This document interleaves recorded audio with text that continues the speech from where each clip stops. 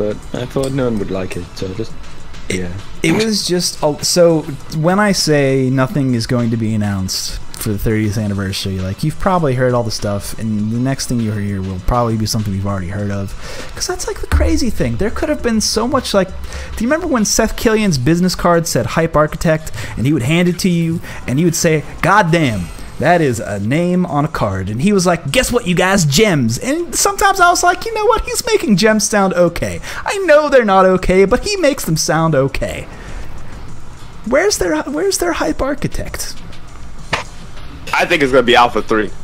I've said it once and I've said it again. This game does not give you room for hype. I mean, that's that's another issue. There's, in terms of like the mechanics. Daigo actually just said as much in his interview on uh, Shoryuken. You guys go look that up. He, I he honestly- says basically exactly that. So go look it up. Yeah, you can't layer it. I honestly, I honestly feel like the middle child because Street Fighter Five is like the first Street Fighter that I'm truly like trying to learn and analyze and get good at and like understand things. I mean, I've always played a Street Fighter, but this is like my my first one. Like, so uh, I feel like the middle child when everybody's like shitting on Street Fighter Five, I'm just kind of sitting there with my thumbs like, uh. I wouldn't worry about it, dude. I mean, I actually only started getting into Street Fighter Five um, about five years ago, actually, um, with sort of the late versions of Street Fighter Four, and everyone else has been playing for already like 20 years. So it's, it's I, I I know the feels. Um, which is probably why I'm so skewed with my vision of what a Street Fighter game is, because everyone's had like Third Strike and uh, Street Fighter 2. And it's just like, here I am sitting here being an 09er, and it's, it's just kind of- not even an 09er. I, I love Third Strike. Third Strike's probably my favorite Street Fighter. I got, I just got to reel that back for a second and just say that Sheldon kind of Went owned in. that round. went in. Yeah, and then you, did you see how he used the critical art early? Because he's like, look, I'm not playing no games with Zangief. I already know how this matchup could go.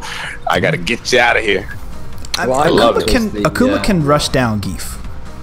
Yeah, Akuma can I, I pressure liked the flexible use of his uh, his demon flip into grab versus demon flip into to hand. That that one tiny Hmm. mix up meant that he could have safe pressure from a distance after following up from a combo.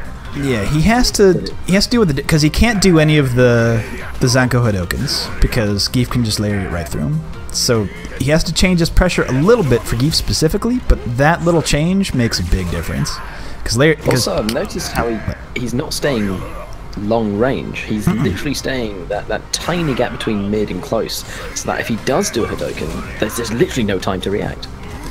and that's the good range for a fireball in in this video game. Oh, you're anti. Oh, That was so oh, smart! Holy shit! What that the was beautiful. that was beautiful. smart. I think that's why Sheldon took a moment. He was like, did I really just do that? That was kind of sick. I wonder if he knew he did that on purpose. That was sick. Yo, because in that screen, in in that freeze, right? Mm-hmm. You know, or at least I knew when I was thinking Gief, I was like, EX, EX Borscht Dynamite, do it, Borscht Dynamite, because he's gonna grab that that Shoryuken, which would have happened if he Shoryuken. But Sheldon was like, Nah, bruh, here comes something else. Oh my god, that was so good. It was so smart. I messed up the neck. Yeah, and then after, yeah, the neck code after that was like, by the way, where your where your frames at? Eat all them buttons. Yikes.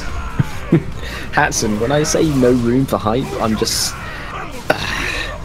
it's it's different. It's like um, I've I've always explained this as uh, as your anticipation versus your general expectation. Like uh, in Street Fighter 4, in, in Third Strike, quick like your an, your anticipation was I, I need to see that combo starting. I need to see that combo start, and I need to see them keep it going because if they drop it, they're dead. Did they Now- kick you